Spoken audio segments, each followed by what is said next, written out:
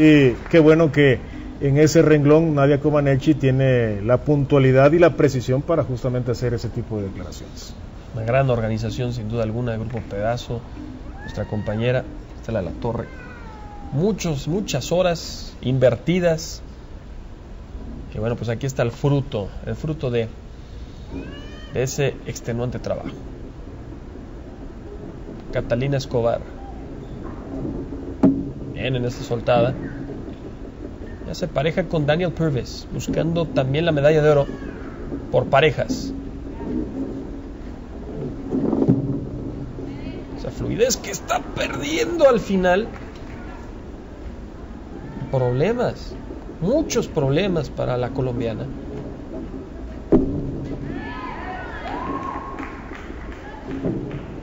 Ahí también con problemas y al final ahí se está pues, se cayó. Pues está, está enfadada, ¿no?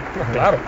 No, no le salieron las cosas y se da prácticamente la vuelta muy, muy disgustada con su actuación esta gimnasta. Porque, bueno, no ha terminado. Tendrá que regresar a hacer su salida. Por supuesto. La estaba preparando y, y- y se soltó de la barra.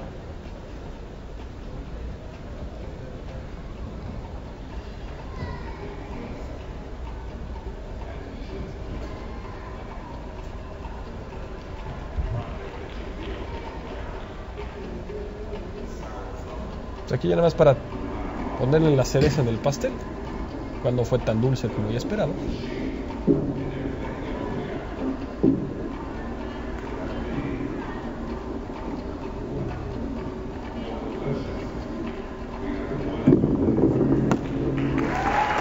Un brinquito. Y Catalina Escobar sí será penalizada. Esto por supuesto eh, pensando, pensando en, en- en las posiciones en el all around por parejas, pues le abre la puerta yo creo que a todos. Sí, de acuerdo.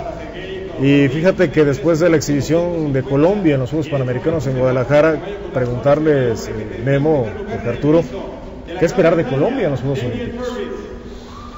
Bueno, con Giraldo, con Josimar Calvo, pues esperan cosas importantes.